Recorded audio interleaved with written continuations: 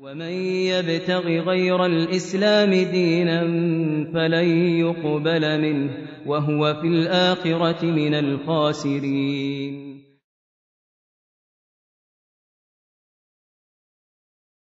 وأول وأولى ما يجب عليك أن تأخذ به في رمضان أن تترك الشرك وأن تتطهر منه وأن تتعلم التوحيد وأن تحققه.